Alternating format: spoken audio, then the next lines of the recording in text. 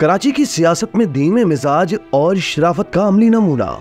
जी दोस्तों, हम बात कर रहे हैं एमकेएम के चेयरमैन और मोतदिल रहनुमा अजीम अहमद तारिक की।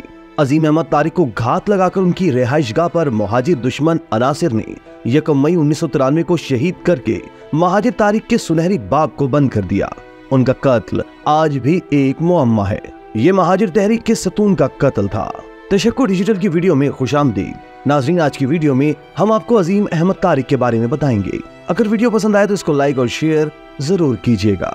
दोस्तों, अजीम अहमद तारिक जमान तालब इलमी से ही बानी एम के साथ मुंसलिक हो गए थे और उन्हीं के हुक्म पर उन्नीस सौ बानवे में फौजी ऑपरेशन के आगाज़ के बाद रूपोश हो गए। ताहम चंद माह बाद ही एक दिन अचानक मंजरियाम पर आकर बानी एम से कयादत छोड़ने का मुतालबा कर दिया था। अजीम अहमद तारिक ने यह प्रेस कॉन्फ्रेंस मारूफ सनतकार और एम रुकन असम्बली हाजी शफीकुर रहमान के घर पर की थी, जहाँ दो और अरकान असम्बली भी मौजूद थे। एम के बानी बुज़ुर्ग सियासतदान इश्तियाक अजहर के ज़रिए तंजीमी मामला चला रहे थे। तहम अजीम अहमद तारिक की जानब से रूपोशी खत्म करने और क्यादत से सबक दोषी के मुतालबे के बाद बानी एम के एम ने क्यादत छोड़ दी और कोई छह माह तक पार्टी उमूर से दूर भी रहे। अजीम अहमद तारिक के कत्ल की खबर जंगल में आग की तरह फैल गई और लोगों की बड़ी तादाद उनकी रिहाइश गाह पहुँच गई, जहाँ उनकी नमाज़ जनाजा अदा की गई।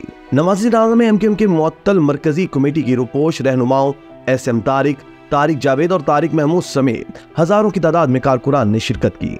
ताहम नमाज़ जनाजा और तहजीज तकसीम एम क्यू एम हकीकी की जेर निगरानी तकमील पाई। कत्ल के बाद अजीम अहमद तारिक के अहल खाना बैरून मुल्क मुंतकिल हो गए और कत्ल की तहकीकात सद खाले की नज़र हो गई। साल उन्नीस सौ बानवे से जारी ऑपरेशन भी खत्म हो गया और इसके बाद होने वाला पुलिस ऑपरेशन भी खत्म हो गया। लेकिन इस कत्ल केस की फ़ाइल से गर्द न झड़ी। दोस्तों एम पाकिस्तान के रहनुमा फारूक सत्तार ने इस कत्ल के हवाले से इंकशाफ किया था कि इस कत्ल के हवाले से बहुत से राज मेरे सीने में दफन हैं। जो शायद दुरुस्त वक्त आने पर या जब कोई किताब लिख रहा होगा तो ज़रूर ज़िक्र करूँगा। मुझे और अजीम भाई को कहा गया, रात घर पर ना सोएँ, मगर वो ना माने और कत्ल हो गए। उन्होंने कहा था कि अजीम अहमद तारिक को बता दिया गया था कि उन्हें कत्ल किया जा सकता है, इसलिए घर पर ना सोए और यही पैगाम मेरे लिए भी था। इसलिए मैं उस रात घर पर नहीं सोया, लेकिन अजीम भाई अपने घर पर ही सोए और कत्ल कर दिए गए। फारूक सत्तार का कहना था कि यहाँ मैं सवाल करता हूँ कि जिन लोगों ने उन्हें कत्ल की साजिश आगाह किया था, वो इनकी हिफाजत करने से क्यों कासिर थे? दोस्तों, दुनिया की सियासी तारीख में बहुत कम सियासतदान होते हैं जो अपनी शख्सियत, अपनी तालीम, अपने किरदार और उपकार से रहती दुनिया तक के लिए यादगार मिसाल होते हैं, जिन्हें कभी फरामोश नहीं किया जा सकता। अजीम अहमद तारिक, महाजिर सियासत की बुनियाद और तहरीक के लिए एक ऐसी शख्सियत जिनकी गुफ्तार, किरदार और अदम तशद की पॉलिसी एक सुनहरा दौर और रहबर की हैसियत रखता है।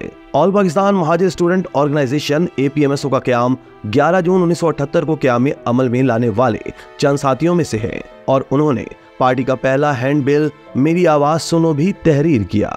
उन्हें महाजिर कौम की तरक्की, तहजीब की दुरुस्ती, तालीम में महाजिरों के आगे बढ़ने और मुल्क के लिए कलीदी किरदार अदा करने की बड़ी ख्वाहिश थी। इनका अक्सर खिताब इस शेर से शुरू होता था मेरे हाथ में कलम है, मेरे जहन में उजाला। मुझे क्या झुका सकेगा कोई जुल्मतों का पाला?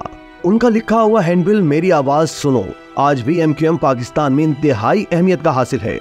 और फ़िक्र फलसफा में डॉक्टर इमरान फारूक की किताब नज्म जब्त के तकाजे आज भी पार्टी डिसिप्लिन के हवाले से अहमियत की हामिल है। अजीम अहमद तारिक ने हमेशा पार्टी पर मुश्किल वक्त में साथ देने का भी तारीखी अमल किया। अजीम अहमद तारिक की एक और खसूसियत ये थी कि उन्होंने कभी किसी इलेक्शन में हिस्सा नहीं लिया। न कौमी, न सूबाई, न सेनेट न वजारत, न मुशावरत बल्कि सिर्फ़ तंजीमी कामों को देखते रहे। महाजिर कौमी मूवमेंट का पहला अवामी जलसा 8 अगस्त 1986 को नश्तर पार्क में इन्हीं की चेयरमैनशिप में मुनद हुआ। शदीद मूसलाधार बारिश के बावजूद ये रिकॉर्ड ब्रेकिंग जलसा था। 31 अक्टूबर 1986 को हैदराबाद की जलसे के बाद बानी की गिरफ्तारी के बाद अजीम अहमद तारिक ने पार्टी को संभाला और हैंडबिल, वो तो आग और खून के दरिया उतर गए डॉक्टर इमरान फारूक की मदद से लिखकर। दो दिन बाद जाम कराची में all Pakistan Mohajir student organization के प्लेटफॉर्म से तकसीम किया। नाजीन एम के कन्वीनियर डॉक्टर खालिद मकबूल सिद्दीकी अजीम अहमद तारिक को खराज तस्लीम पेश करते हुए कहते हैं कि अजीम अहमद तारिक की शहादत एम के लिए सानहे से कम न थी। इनकी खिदमत को मुद्दतों फरामोश नहीं किया जा सकता। इनकी सियासी और समाजी ज़िंदगी आज भी कारकुनान के लिए मशल राह है। और ये ऐसा नगीना था जो तारीख राहों में हमसे छीन लिया गया। आज भी उन्हें याद करके हर आँख अश्क बार हो जाती है और हम कारकुनान तहरीक, उनकी तालीमत पर अमल करके ही अदम तशद के ज़रिए से तहरीक के फलसफे को आम करके उनके ख्वाब को पूरा कर सकते हैं। महाज रिवायत और सकाफत के नकीब अजीम अहमद तारिक थे। अजीम अहमद तारिक मुदबराना सियासत और अदम तशद की पॉलिसी और एक तहरीक का सुनहरा बाप है, जो तहरीक के संजीदा और उसूलों पर चलने वाले तमाम रहनुमाओं और साथियों के लिए मशले राह है। एम क्यू एम हो या ए पी एम एस हो, दोनों के बानी के असल हाथ अजीम अहमद तारिक थे। उनकी खूबी थी कि वो तशद को किसी सूरत पसंद नहीं करते थे। वो अमन की खुली किताब थे। उन्होंने चेयरमैन की हैसियत से तशद के खिलाफ खुलकर मुखालफत की।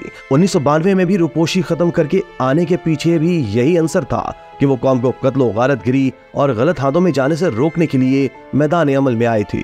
वो कामयाब भी हो गए थे, लेकिन इस चिराग को अमन दुश्मनों ने यकम मई उन्नीस सौ तिरानवे को अमन की शमा हर जगह जलाने से पहले मौत की नींद सुला दिया।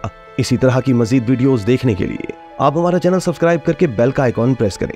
इसके अलावा एलियाने कराची के लिए रोजनामा तशक्र हर स्टॉल पर मौजूद है।